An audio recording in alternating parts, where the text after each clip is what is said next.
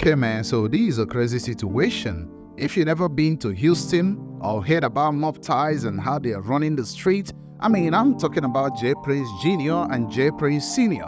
Right here, we have DJ Akademiks revealing how powerful this man really is in Houston. Now, listen up, my Houston people, let me know in the comment section because this audio I'm about to play for you all is really crazy.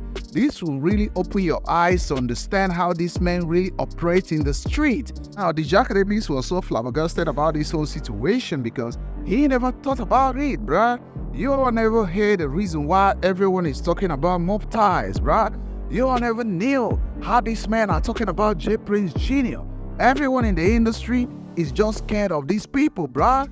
And you never understand how powerful they are. But trust me, after you watch this video to the end, you really understand what's going on right here. Go ahead and check it out, man.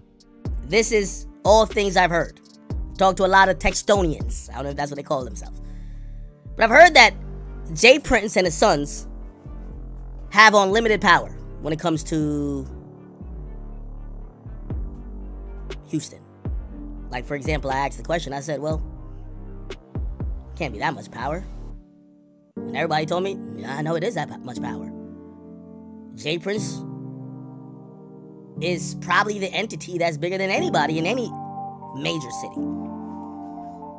And I kept asking questions. And I said, What do you mean? And I even brought up the story I told y'all before. I said, You know, 6 9 told me when he got arrested for federal um, on his RICO case, he said another department came in and questioned him to say, Do you know anything about J Prince? To me, it told me the feds wanted to get J Prince. But it also told me they've been unsuccessful. What it also told me was that they're really, maybe there's something there behind everything we see. We see the courtesy calls in this and third, but then a, a few stories was told to me. I'll, I'll, I'll, I'll, I'll purport one of them. And I've, I've heard this from six people so far, so I'm inclined to believe it. And I had never knew this is how Houston ran, or that anybody could have this amount of power. But apparently, this is the case. That police, DA, and everybody else will never f- with certain people. And I said, nah, what the fuck? And then I got sent down a rabbit hole that I've been trying to figure out for the last probably couple weeks. But it only convinced me that everybody who told me this was right. Maybe J Prince and them, they're that people. And it might sound wild. I'll give you, I, will give you some of what I know. Let me explain. So here's a story I got told. J Prince Jr. Apparently, he's on a very short list of the people who even beat a gun charge in New York. So he got caught with a gun in New York, beat it, or somehow escaped and got probation. Now, if we talk about the reason why he went to jail, this sounds like fairy tale. But I have to. The only reason why I'm even putting letting y'all know this is because when we think about anything to do with J Prince, I think most contemporary people in hip hop is like, what the fuck? Why everybody? Why does nigga keep doing courtesy calls and talking slow? Why does his son think whatever? Well, hear this. So I hear basically nobody with the Prince family in Houston. Nobody. Including the cops. Cops know what it is. J Prince Jr. allegedly one day is driving home drunk. Hey, I'm the king of this bitch, why not? While driving home drunk, a rookie cop it's important to say rookie cop. Because if it was any other seasoned cop, they would have known that's the Prince family and shit goes different. It's important. A rookie cop pulls him over and asks him to get out. Somebody said, "Act you a fool if you believe that." I'm gonna show you all the proof you need. So you're gonna tell me if this is cap. I would. Eh, what I'm saying to you, you're gonna say it's cap until I show you the proof. Hear the story. Rookie cop tells him, hop out the car. He's already like, what do you mean hop out the car? I'm J Prince Jr. Hop out the car. Reluctantly, he hops out the car. Supposedly, they either find that he's he's um intoxicated or whatever. Um, they also ask to search him. This is where it gets interesting. J. Prince Jr. says to the cop, Nigga, don't touch me. You can't search me. Now, this is gonna sound foreign to y'all because the peons like you and me can't tell the police you they can't search you. But he told the cop that. You can't search me. Go ahead, call your boss or whatever. I'm gonna be out of here. Not going to jail, blah blah.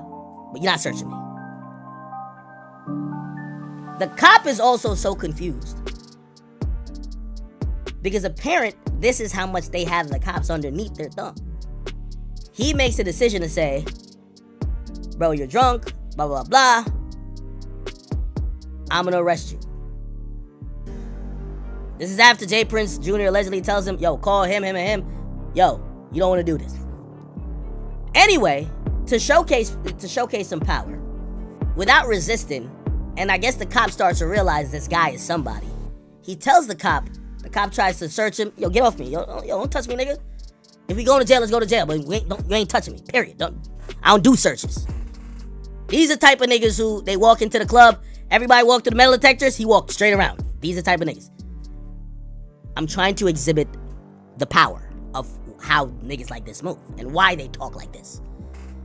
Don't don't it like don't you think like why these niggas be talking slow and act like they run the whole world?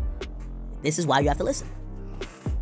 So apparently, J Prince Jr., not even a father, the junior, basically tells the cop, yo, do what you gotta do, but you're not fucking searching me. And some way, somehow, the police officer says, all right, well, since I got you on, on, on the drunk driving thing, I gotta bring you down to jail. You could get out right after. Okay, I won't search you. Just hop in the car, please. The cop is allegedly bargaining with this guy. Why? That's the power. Unbeknownst to everybody, the whole time J. Prince Jr. allegedly has a loaded gun on his waistband.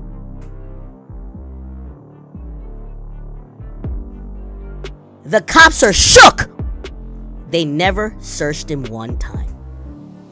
They allow him to get in the car. He complies with that. They never search him. He goes to the jail. He gets out the car. They still never search him. They let him go into the jail area. They still never search him. They find out later on, when obviously now you have processed and a bunch of other things, he had a loaded gun the whole time on his hip. That's crazy. So I'm I'm like, yeah, like, yo, why niggas everybody care about J Prince like? Yo, why is it? I get it now.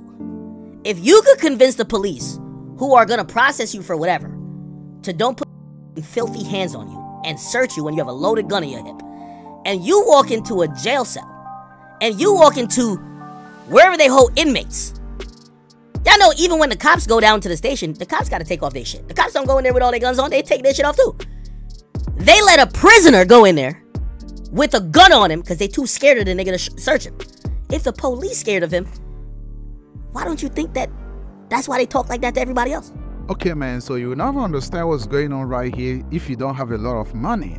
Now, I heard some people from Houston coming to let me know they're listening up, man, what on the street.